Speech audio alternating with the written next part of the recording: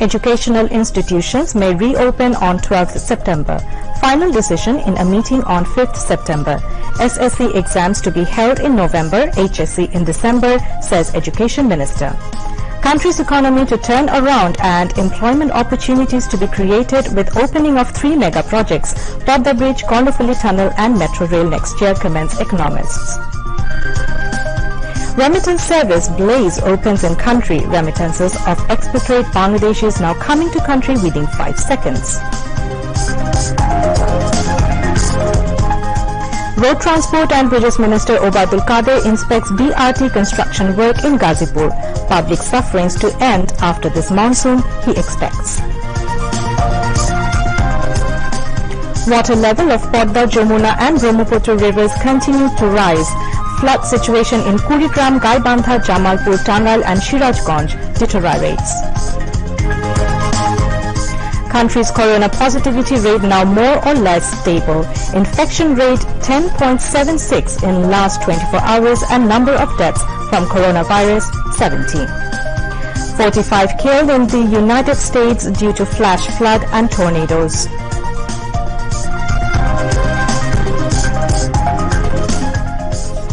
And Bangladesh defeat New Zealand by four runs in second of five-match T20 series. Assalamu alaikum. Welcome to News at 10 on BTV, BTV World and BTV Chattogram Center.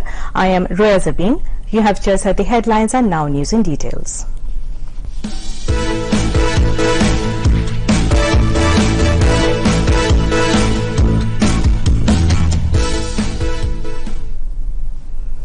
primary, secondary and higher secondary educational institutions are expected to reopen from 12th September. Education Minister Dr. Dipu Moni said this while speaking at a function in Chandpur today. Dr. Dipu Moni also said secondary school certificate, SSC, and higher secondary school certificate, HSC examinations will be held in November and December respectively, as per previous decision. ছুটি আমরা গত সভায় বর্ধিত করেছিলাম এগারোই September পর্যন্ত। আমরা এখন আশা করছি যে আমরা বারোই সেপ্টেম্বর থেকে আমাদের সকল শিক্ষা প্রতিষ্ঠান, অর্থাৎ প্রাথমিক, মাধ্যমিক এবং উচ্চ মাধ্যমিক, আমরা খুলে দিতে পারব ইনশাল্লাহ বিশ্ববিদ্যালয়গুলোর ব্যাপারে আমরা আবারও বসবো। আমরা উপাচার্যদের সঙ্গে কথা বলেছিলাম। তারা চেয়েছিলেন যে অন্তত পক্ষে সকল শিক্ষার্থী প্রথম ডোজ টিকা যদি নিয়ে নিতে পারে তাহলে ভালো হয়। এবং সেজন্য আমরা একটা খোলার তারিখ নির্ধারণ করেছিলাম সেই অনুযায়ী অক্টোবরের মাঝামাঝি। এখন ওনাদের সঙ্গে আবার কথা বলব। ওনারা যদি তার আগে অন্যান্য শিক্ষা প্রতিষ্ঠানের সঙ্গে একই সঙ্গে খুলতে রাজি হন, খুলবেন, কিংবা যদি ওনারা ভিন্ন কোনো তারিখ নির্ধারণ করেন, সেটি ওনাদের বিষয়। Special Security Force Bill 2021 was placed in the Jatiya Sangsad, aiming to bring the family members of the country's founding president Sheikh Mujibur Rahman alongside the president and the prime minister of the country under lifelong security coverage of the force. Liberation War Affairs Minister A.K.M. Mozammel Haque today placed the bill in the House with Speaker of the Jatiya Sangsad, Dr. Shirin Sharmin Chaudhury in the chair. Piloting the bill, the minister said the proposed bill has been placed for amending the previous Special Security Force Ordinance 1986. Three parliamentary standing committees have been reformed in the parliament today. On behalf of Prime Minister Sheikh Hasina, Chief Whip Noore Alam Chaudhry proposed the reform of the committee. Reformed committees are Committee on Government Assurances, Committee on Commerce Ministry and Ministry of Fisheries and Livestock. Mohammad Muslimuddin has been made new chairman of Government Assurances Committee because of demise of Professor Ali Ashraf, who was the previous chairman. Besides, reports of different standing committees were presented in the parliament today. The sitting of the parliament session has been adjourned till 11 in the morning tomorrow. Road Transport and Bridges Minister Obaidul Kader has visited the latest work progress of Greater Dhaka Sustainable Urban Transport Project BRT Gazipur Airport Road at Cherag Ali of Gazipur this morning. During his visit, the Road Transport and Bridges Minister said a 4.5 kilometer long elevated road six flyovers, 25 BRT stations and 20.05 kilometer long corridor will be built under the Bus Rapid Transit BRT project. Work of the project will finish in December 2022, the minister said. Obaidul Kader said once completed, 20,000 people can move per hour in both the sides of the project.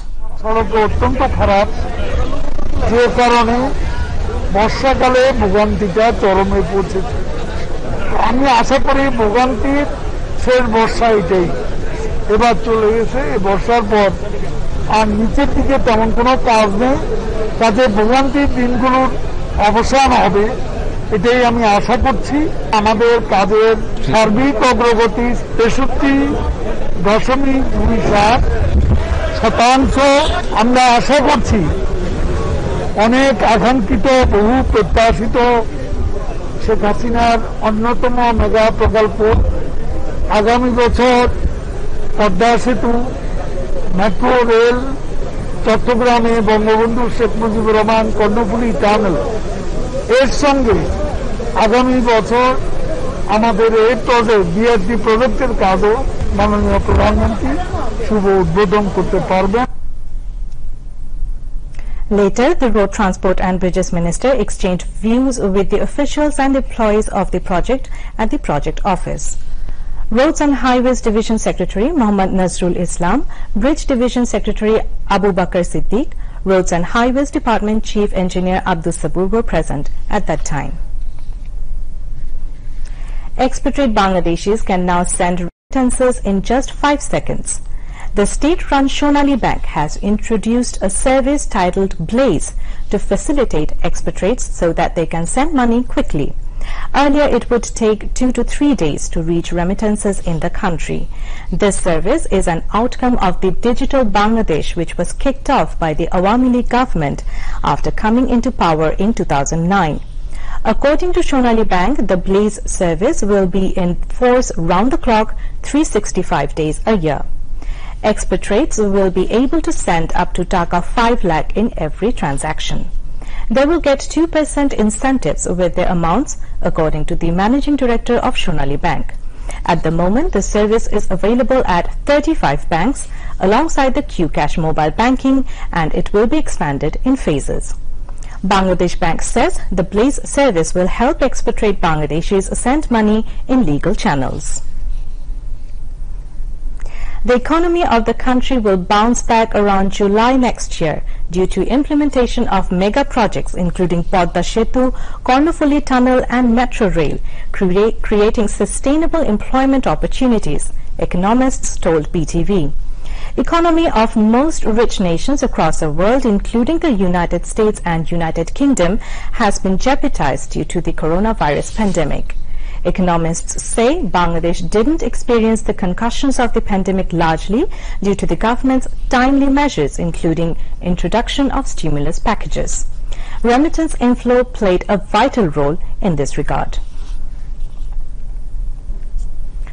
The flood situation has been deteriorated further due to continued rise of water level in Brahmaputra, Jamuna and Podda rivers. On the other hand, water level in main rivers of northeastern Meghna basins, excepting the Kushiara river, are in decreasing trend.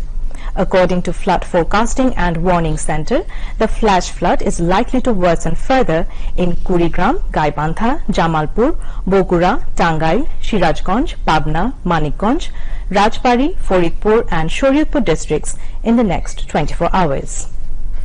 Meanwhile, the Jamuna River is flowing 66 centimeters above the danger level, causing inundating low-lying chor areas of at least 28 unions under five upazilas of Sirajganj district.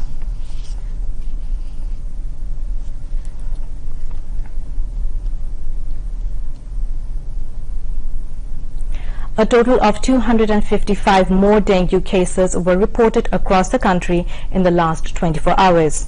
Of them, 233 new patients were admitted in Dhaka and 22 in districts outside the capital. A release of the Health Crisis Management and Control Room of Directorate General of Health Services, DGHS, said today.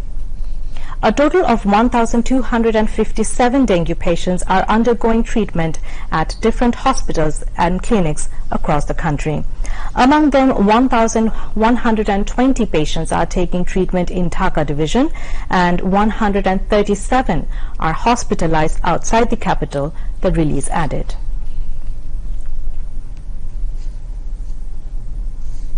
Member of the Parliament and former Deputy Minister and valiant freedom fighter Hasibur Rahman Swapan was buried at Shahjadpur Mogdunia graveyard in Sirajganj with state honor. Earlier, his last namaz-e-janaza was held at Shahjadpur Pilot High School ground after Juma prayer. His dead body was taken first to Pabna with a helicopter. Later, the body was taken to Shahjadpur residence in Sirajganj. Leaders and workers of Central Awami League, District Awami League, Upazila Awami League and its associate organizations paid tribute to late Hasibur Rahman Swapan, placing wreaths at the coffin. Awami League General Secretary and Road Transport and Bridges Minister Obaidul Kader virtually attended the wreath giving program and recalled the eventful life of Hasibur Rahman Swapan.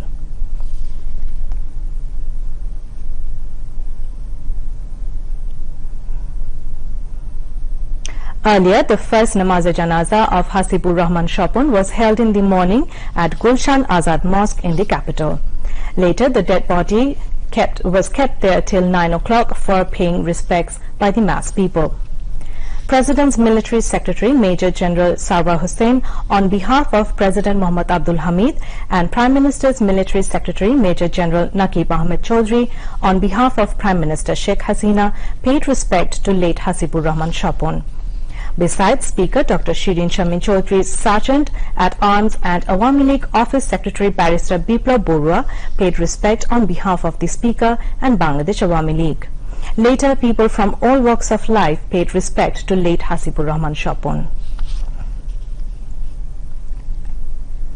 Doctors at a hospital have uh, described veteran politician Tofail Ahmed's health condition as stable hours after he was flown to the Indian capital for treatment this afternoon as he suffered a stroke in Bangladesh on August 30.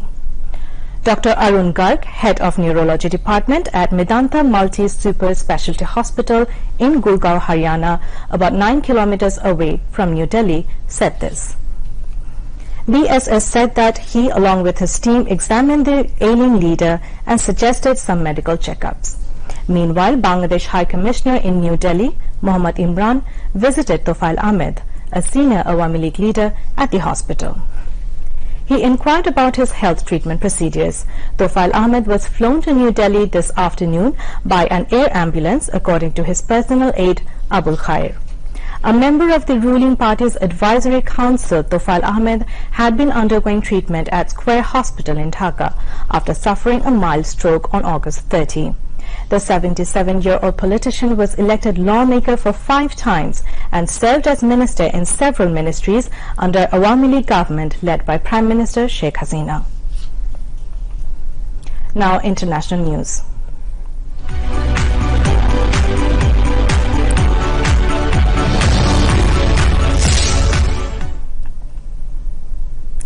U.S. President Joe Biden has said historic investment is needed to deal with the climate crisis as the northeast of the country reels from flash flooding and tornadoes that have killed at least 45 people.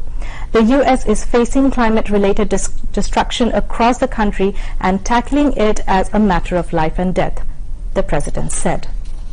New York City and New Jersey saw unprecedented levels of rainfall. Some residents became trapped in flooded basements and cars. Six states suffered loss of life. New Jersey Governor Phil Murphy said at least 23 people had died in his state, most of them stuck in their vehicles as the water rose. At least 14 people lost their lives in New York City, including a two-year-old boy. 11 of them drowned while trapped in their flooded basements, officials said. Five people died in Pennsylvania, while a state trooper in Connecticut was swept away as he responded to a call. Deaths were also reported in Maryland and Virginia.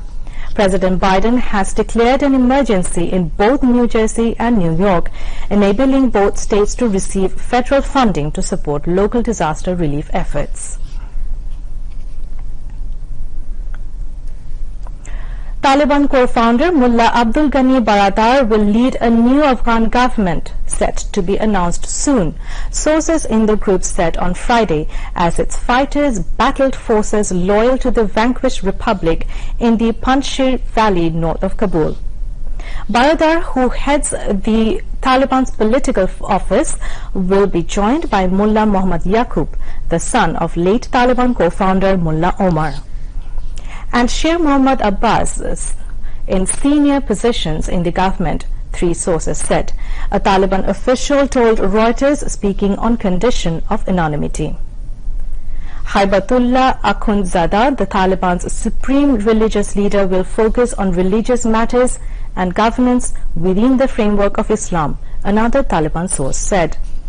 Meanwhile, NDTV said announcement about the formation of new Afghan government has now been delayed by a day, quoting Taliban spokesman Zabiullah Mujahid. The Taliban, which seized Kabul on August 15 after sweeping across most of the country, have faced resistance in the Panjshir Valley, where there have been reports of heavy fighting and casualties. COVID-19 global toll crosses 45 lakh 60,000 and over 22 crore 1 lakh 41,000 people have been infected globally. Besides, more than 19 crore 68 lakh 17,000 people have recovered from the virus so far. Meanwhile, the U.S. has now 4 crore 5 lakh 13,000 confirmed cases and over 6 lakh 62,000 deaths. India has now 3 crore 29 lakh 3,000 confirmed cases and over 4 lakh 39,000 deaths. Bangladesh reported 70 COVID-19 deaths and 3,167 new infections in the last 24 hours. Directorate General of Health Services, DGHS, in its routine daily statement today said the death toll has risen to 26,432 from coronavirus and the tally of infections has risen to 15 lakh 10,283. The recovery count rose to 14,42,582 after another 4,697 patients recovered. The statement said 10.76% of 29,438 samples tested positive. DGHS statistics showed of the people infected from the beginning, 95.52% recovered and 1.75% died. The statement said of these 70 deaths, one is between 21 to 30 years, three are between 31 to 40 years, 11 are between 41 to 50 years, 16 are between 51 to 60 years, 21 are between 61 to 70 years, 14 are between 71 to 80 years, and 4 are between 81 to 90 years. 34 out of the 70 people died were male, while 36 were female. DGHS informed that 24 people died in Dhaka division, 15 died in Chattogram division, 4 died in Rajshahi division, 12 died in Khulna division, 4 died in Barishal division, 8 died in Sylhet division and 3 died in Rangpur division. Now news on sports.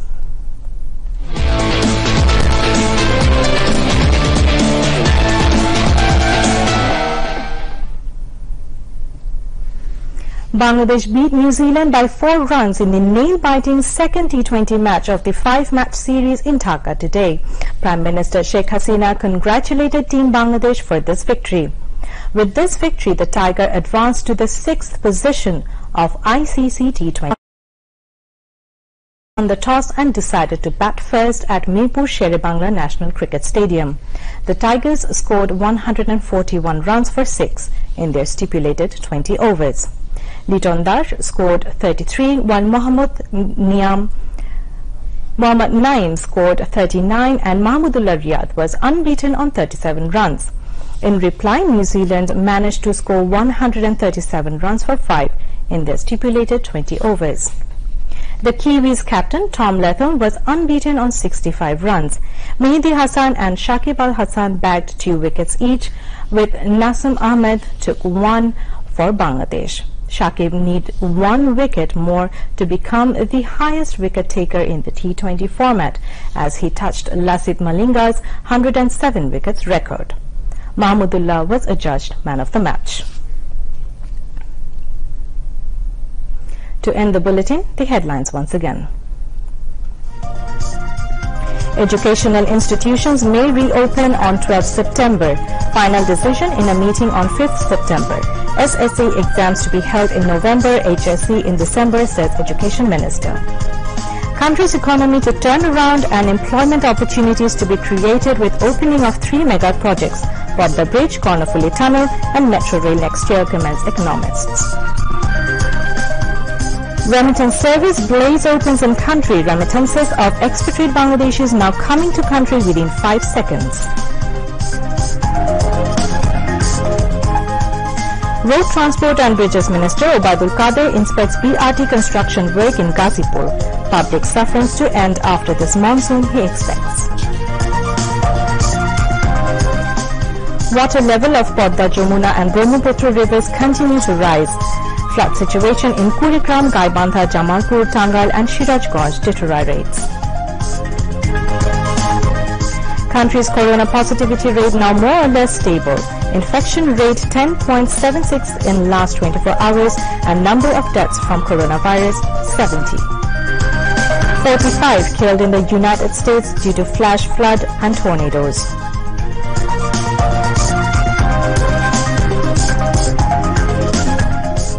and Bangladesh defeat New Zealand by 4 runs in second of 5-match T20 series. That's all from the news for the moment. Thank you for staying with us. We invite you to watch our 11.30 Bangla News and we request you to follow health guidelines, wear a mask and stay safe from corona. Khudafiz.